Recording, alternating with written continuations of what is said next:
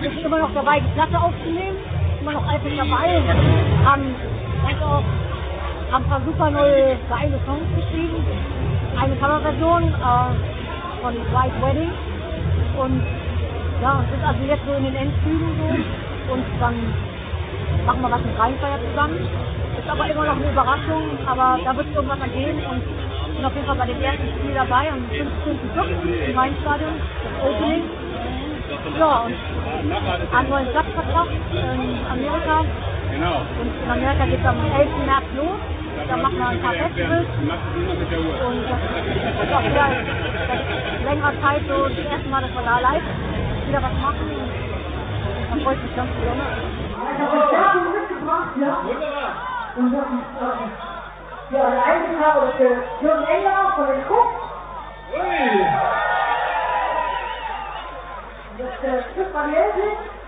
Jetzt eine neue Band.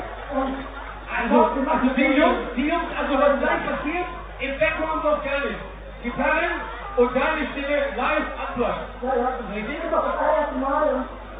Das erste Mal, ich weiß doch ganz genau, wie ich das erste Mal, und das ist ein anderes Thema, reden wir nicht drüber.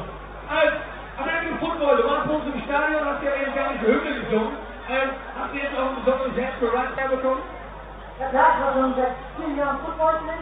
Wegen meiner Band, das war alles Amis. Ich liebe den Football-Fan. Und dann bin ich mitgekommen und dann Rheinfeier, ist ja Das ist klar. doch Rhein Fire, yeah!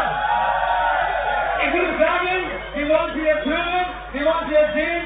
Begrüßt hier auf die Rhein Fire Bühne heute mit Ihrer zweiten Stadion hier in Sommerfest.